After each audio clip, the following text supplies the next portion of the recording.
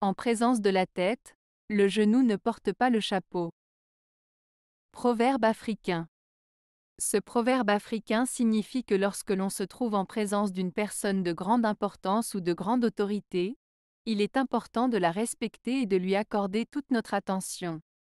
On ne doit pas se comporter de manière impolie ou irrespectueuse en sa présence.